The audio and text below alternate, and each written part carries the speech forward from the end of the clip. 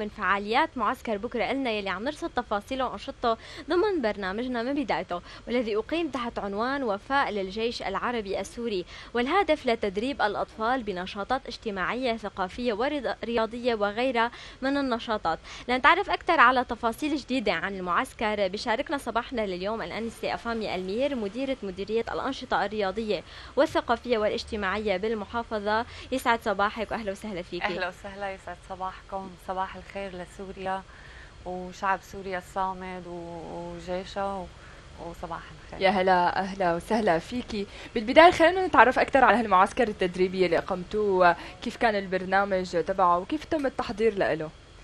أه هلا أه المعسكر هو معسكر أه بكرة إلنا.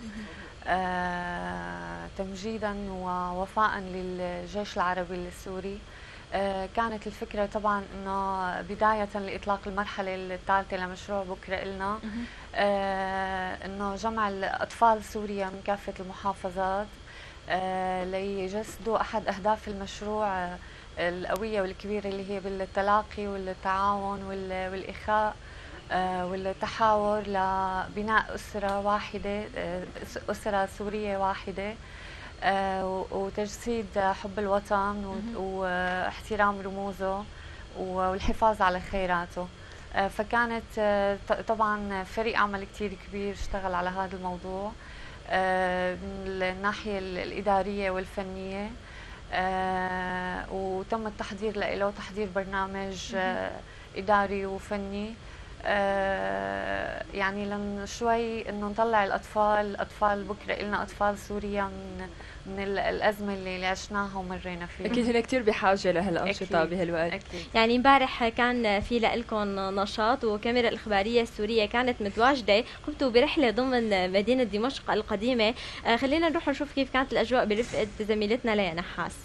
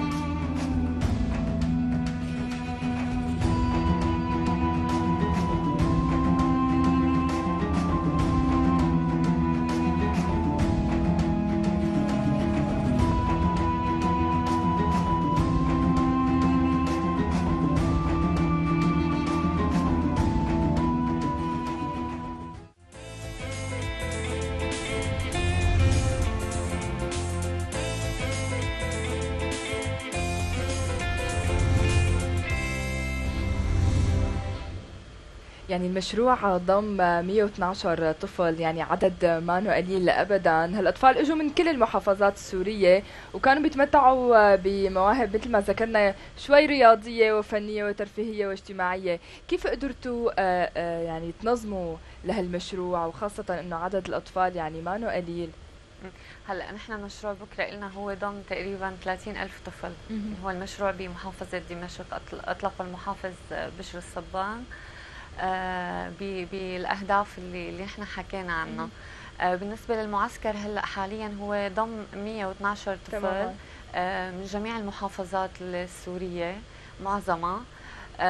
طبعا بضم تقريبا من كل محافظة من أطفال. آه، عملنا البرنامج بحيث إنه يشمل آه، الأنشطة الترفيهية حصص تدريبية لكل الرياضات والفنون اللي الموجودة عندنا بمشروع بكرة إلنا.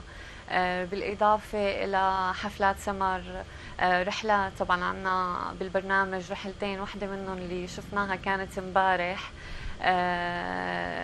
كانت رحلة طبعا كتير حلوة والأطفال آه، يعني بدل ما نحن إنه نتعاون معهم لنخرجهم من الأزمة هن يعني هن اللي عم يساعدونا عم يساعدونا لحتى نحن كمان يعني نكون متعاونين معهم وطاقة إيجابية. آه، فالأطفال جدا متعاونين وفي تعاون كمان من الأهالي وتواصل معهم. آه شيء كثير حلو إنه نحن نشوف هي التجمعات آه من جميع الأطياف السورية بمعسكرنا. آه وبالنهاية ليحقق هدف كتير مهم اللي هو آه، دعم الأطفال. أنتم جهزتوا المشروع بخيام. وين عم تقيموا المعسكر؟ هو نعم. المقر هو بمديرية منشأة نادي المحافظ الرياضي والاجتماعي والثقافي. آه تم التحضير له تقريبا قبل أسبوعين. بتجهيز الخيام تجهيز الكادر الإداري والكادر الفني. آه، عايشتون جو المعسكر آه، للأطفال أكيد طبعا ما بين استقبال الأطفال لما أجوا قبل بيوم تأمين مستلزماتهم تأمين كل شيء بيعتازوه حتى كمان بالفقرات الفنية ممكن نقدم هدايا تشجيعية لكل الأطفال. آه كمان ضمن أهداف مشروعنا رعاية المواهب. يعني أي طفل ممكن يكون عنده موهبة حتى لو كان مو من دمشق من بقية المحافظات كمان رح نقدم رعاية لهدول نعم الأطفال. هلا الدعم المقدم للأطفال والرعاية أكيد بيحتاج لكادر مختص آه، بمجالات متعددة. اليوم قديش هالكادر مؤهل ضمن مشروعكم؟ طبعا نحن خلال مراحل المشروع آه، آه، اعتمدنا على الدورات التأهيلية لكافة الأقسام الإدارية والتنظيمية والفنية وكافة أقسامه بالرياضة بالفنون. آه، بحالات الإبداع بالإعلام حتى كمان يعني نحن بأول مرحلة ما كان في عنا أقسام فاعتمدنا أقسام جديدة منها. آه، القسم الإعلام اللي برز بالمرحلة الثانية وكان له حضور كثير آه، رائع. وطبعا كان ضمن دورات تأهيلية. آه، إن شاء الله هلأ كمان بالمرحلة الجديدة اللي جاية كمان في افتتاح أقسام جديدة ممكن نفتتح قسم المهن اليدوية. يعني الأطفال مثل ما ذكرنا قبل شوي هن من أكثر من محافظة عم يكونوا متواجدين معكم هاي الحالة قديش عم تضيف شيء جو حلو كمان بين الأطفال؟ بصراحة الجو كثير رائع يعني مو بس حلو أكثر من رائع. آه، في انسجام كثير بين الأطفال في تعاون آه، في آه، كثير طاقة حلوة عم يتغدوا مع بعض يفطروا مع بعض يتعشوا مع بعض يمارسوا نشاطاتهم وهواياتهم كلها مع بعض آه عم يتعرفوا على بعض. كمان هلأ نحن عاملين في شيء اسمه تواصل كمان مع الأهالي بنهاية المعسكر. فشيء كثير حلو وشيء كثير رائع. كمان دعم الأهل يعني هو الأساس يمكن لحتى الطفل يتشجع ويدخل ضمن مشروعكم. كثير مبسوطين بثقتهم يعني كمان الأهالي اللي, اللي بعتوا أطفالهم لعنا أكيد لهم ثقة كثير كبيرة فينا وبمشروعنا. كيف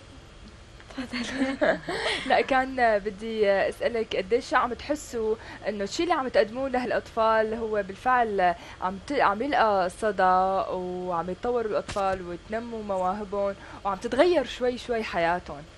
هلا بصراحة امبارح كان في حفلة سمر ف يعني كانت الحفلة هي عبارة عن إنه كل محافظة تقدم آه، شو في عندها هوايات شو في عندها شيء حلو ممكن تقدمه فكان العرض جدا رائع. يعني كل طفل عنده موهبة عم بيقدمها. فعلا نحن تفاجئنا آه وكانت السهرة كتير حلوة إنه آه يعني ما تخيلنا هذا الشيء من الطاقة اللي عند الأطفال إنه يتقدم بها. المشروع آه مثل ما قلنا قبل شوي الكادر آه، كان يعني هو مجهز وكمان قمتوا معه بالعديد من التدريبات. آه قديش مستمر تقريبا هذا المعسكر؟ وشو كل يوم عم يكون البرنامج؟ كيف عم تنسقوا البرنامج؟ هلأ هو المعسكر تقريبا مدته أسبوع. من بلش من الاثنين الماضي ورح ينتهي الثلاثاء القادم.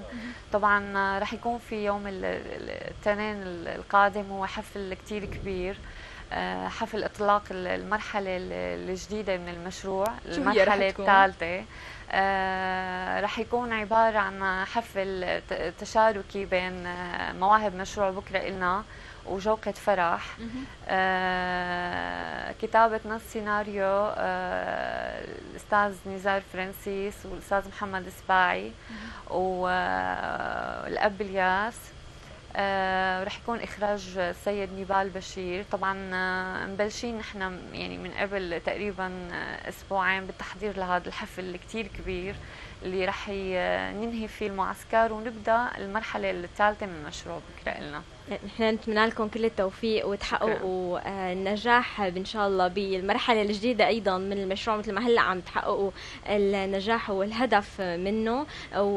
وتحية أيضا لكل كادر العمل يلي عم يشتغل معكم على هذا المشروع. شكرا لكم كثير لك يعني أنتم أكيد عم تساهموا بإعادة الأعمار ابتداء من الطفل يلي هو بالمستقبل آه، رح يصير حدا كثير مهم بمجتمعه السوري ويساهم بإعادة أعمار بلده. شكرا كثير لهالمشروع اللي عم تقدموه لهالاطفال اللي هن بحاجة له بالفعل هلا.